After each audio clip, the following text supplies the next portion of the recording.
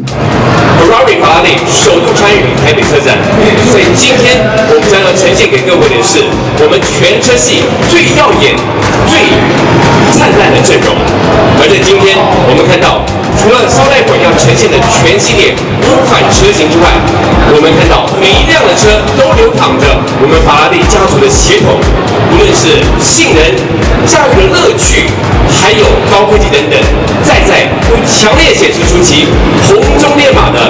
明显特征。Three, two,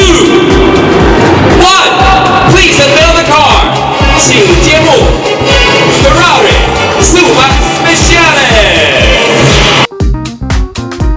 法拉利的458 Speciale，它是有史以来法拉利最棒、性能最好、最有驾驭乐趣的一台 V8 运动跑车。